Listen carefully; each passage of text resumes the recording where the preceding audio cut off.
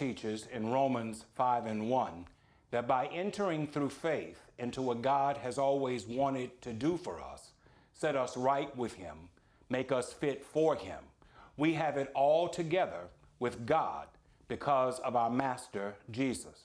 Because we have been justified by faith, we have peace with God. Because this is so, we cease being afraid of God. We know that God is loving, tenderhearted, compassionate. God does discipline, but it is to correct, not punish.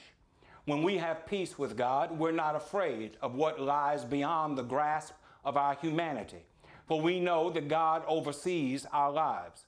We remind ourselves that my standing and my acceptance by God does not depend upon me.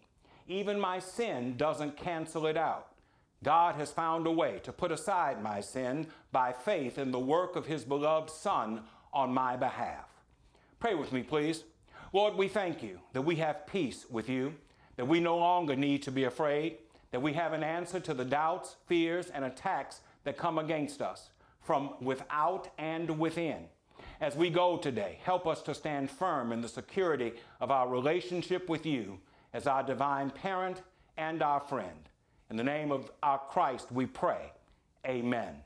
At Shiloh, we're committed to growing in our discipleship, following the model of our Lord Jesus. Come be a part of us as we grow. Learn more about us at shilohbr.com or visit our YouTube, Facebook, or Instagram social media sites. Have a blessed Tuesday.